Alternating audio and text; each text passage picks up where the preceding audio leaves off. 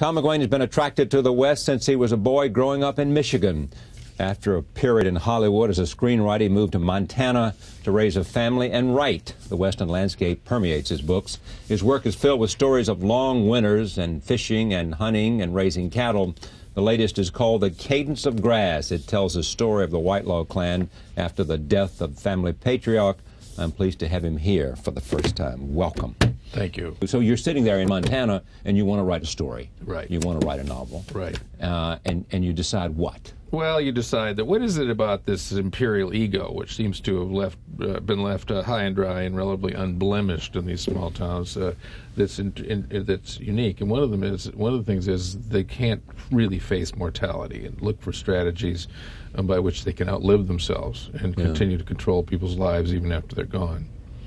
And uh, that idea began to fascinate me. I thought, what about somebody who's really trying to trying to rule after Yeah. he's departed, after he's wandered around the backyard in his red knit cap and he's disappearing into senility, but he's just going to really the, the lion's paw on these uh, innocent lives. And the and, and as all my ideas uh, uh, come to me, this one came to me both in comic form and in uh, tragic form. I mean, I always see these things the same way. I sort of see them. The, I see the overall uh, trajectory of the thing being kind of tragic, you know. But I see the, all the details of it as being comic. I mean, I don't know. It just happens to be the, how, it, as a child of an Irish Catholic household, all things are seen this way. Yeah. Um, you know, the skepticism about mortality and our fate and stuff. But everything seemed very funny in the foreground. What did you want to explore here? I mean, we talked about the sort of every town has an alpha male, and, and he wants to somehow uh, influence events beyond his grave. Yes. And this is clearly what this man does because, you know, he leaves the bottling plant to. Paul, and Paul is his son-in-law. And in order for them, you pick it up. In order for Paul- them to participate, Well, and Paul's sort of the Antichrist. I Yeah. mean, he's this charming, kind of diabolical character. based What on I anybody really- we know. Yeah, well, lots of people, too many people we know. But uh, I, I know kind of what I wanted to explore. I, I felt, you know, that all of us, and, and one of the peculiarities of living in America is that we can barely recognize where we grew up. Yeah. That if you, or if you move away for three years and come back, you can't find the house. Or somebody I knew lived in a gorgeous suburb in. Uh, uh, in Irvine, California. Uh, they used to. I was with him one time. We were driving down the sidewalk, and he kept his thumb on the garage door opener. That was how he found his house. He, he'd drive along with his Yeah. thumb on the garage door opening. When he see one pop open, he'd drive in there. He's home. so this kind of wildly deracinated lives, these Yeah. wildly deracinated lives that we all are leading, and his lives are changing, and people who were valuable and ways of life that are valuable are vanishing, and we're all um, we're all kind of wondering what we should be valuing. I mean, and so you're kind of looking around you're at, this kaleidoscope of change and saying, where are the things, where are the va- what are the values that I can retain? What's important that's going on? What if it's disappearing? What, what should I help uh, to keep alive, uh, so that we won't have this kind of crazy cultural loneliness that uh, we we have in, the, in this country, or this feeling that um, uh, that life is meaningless. A lot of people feel it's meaningless. Lots of them do. Lots of Yeah. people feel Yeah. And, and have you noticed in Montana any impact after September 11th in terms of sense of change about attitude, about living, about Yes. Uh, the, the the thing that I notice is that um, I, I think a certain level of Montana isolationism ended then. People were heartbroken at what happened to New Yorkers. Yeah. Our And local fireman, you know, got up and with his own money and went to New York. Just stood there, and, you know, wondered what he could do. It's just amazing. I mean, that's just, I haven't heard that story, but it's just one story after another like that. Yeah. You know? And, um, uh, you know, I think Montanans maybe prided themselves on not being part of the overall nation. You know, that's it. We're different. This is like a nation. Yeah, we're more pure or something. Yeah, we're more pure, or you know, we're Or old less tainted or less, Yeah, you know. and then we looked in, and you know, we hear these guys with these heavy New York accents, you know, firemen and policemen and all sorts of stuff, and everyone just, and we just, Montanans just felt this thing. God, we're that's us too. Same- we have the same values. We care Yeah. about the same things. yeah, It just our geography is different. That's all that's different. that's our geography. I agree. I agree. And that's what we found out on September 11th. yeah.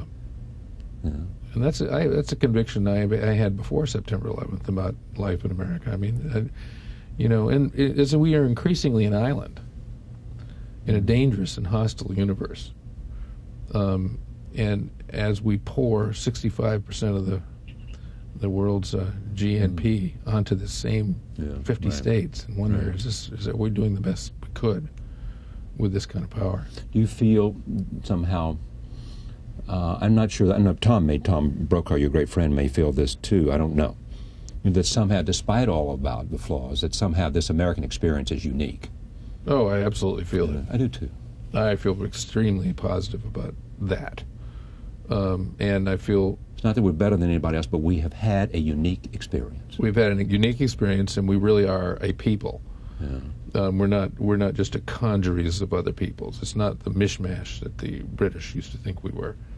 Um, we really have become some sort of a people. I'm not. That's not, not judging us, but there's no. We're not like other people in some ways, um, and and and uh, we're going to we're going to have to figure out how we're going to navigate that sort of national personality through this minefield of a global world that's that's gotten quite a bit more dangerous recently. Back to the cadence uh, of grass. Why that title?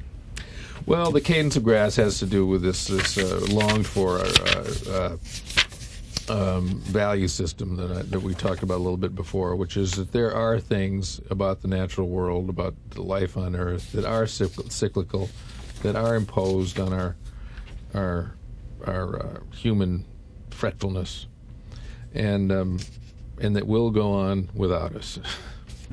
This is Kubla Khan, a savage place, as holy and enchanted as air beneath. A waning moon was haunted by woman wailing for her demon lover. yeah, that's the that's the best epigraph I ever had for a book. I mean, It- it- yeah, it- did you find that? on. I mean, have you had that sitting around for a while, or I had it. Uh, I did have it in my mind for a while, and I thought it particularly applied to this because um, the, probably among the cheaper ideas of this uh, novel are uh, the idea this this sort of simple preoccupation that m- men like me have is that why do great girls fall for such rotten guys? and have you discovered the answer to that? no, but I explored it like a like a like a hole in my And- tooth. and here, yeah, yeah. yeah, This is Evelyn and Paul. yes. The relationships weave in and out. Yeah. In here. Now, Right. did, did you set all that out? I mean, did you find that halfway through, or did, did the characters take over, or did you work this out? a little, before? a little of both, and mostly through drafting. I mean, I drafted, wrote this thing out in longhand at 500 pages or something. The first run at it. Because what? It bleeds better that way out of your brain. Well, because I was trying to find it. You know, I mean, it was trying to, it was like trying to find the center of it. I knew it was, it had a lot of voices, and I, I wanted it to move sort of inexorably as though it only had one voice. I wanted these people to be free as possible from the, you know, the ministrations of the author. I wanted them to get on with it. But uh, at the same time, I know it's an artifact. It's a made thing. I wanted to make a novel out of this thing. But to get this thing moved along and shaped into place, I couldn't just blast through it in a linear way. I had to write it and then try to write it like this and try to write it like this. And then finally, I get. I remember having this feeling at one point because I actually said it aloud. I said, "There, There. yeah," and it was a great feeling. Tom McGuane of Montana, The Cadence of Grass, um, about the Whitelaws and what happens to them and, and how they work through dysfunctionality and the rest of it. Thank you. Thank you for having Pleasure me. to have you. Thank you for joining us. See you next time.